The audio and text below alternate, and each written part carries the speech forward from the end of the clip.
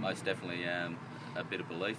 Um, there was just no belief within the within the club. They'd come from a really dark, low sort of area. Um, you know, three years, three wins. Um, you know, to, to actually get that belief in themselves and, and some you know some direction as well. Yeah. Um, I think they were just lacking a lot, a lot of direction there, and, and through the leadership program, they found that sort of direction there, and, Yeah. and they've, they've grabbed it. Mm. Um, but I think it's been a huge leap for, for the club.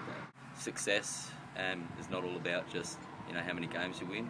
Yeah. Um, it's what's going on around the club and what's happening off the field. Spot and on. I think that's you know the, been been the thing that's you know Mm. um, you know the big step in, in the right direction. Oh, very easy. It's Yeah. it's a step by step program, and, and and it makes sense. Um, you know.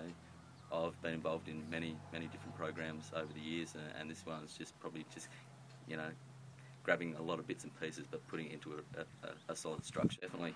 Yeah. Now, I, I reckon it's probably, you know, with young people, it's really hard to engage. You know, it's a, normally a 15-minute conversation, um, and then you usually, you know, you'll lose them.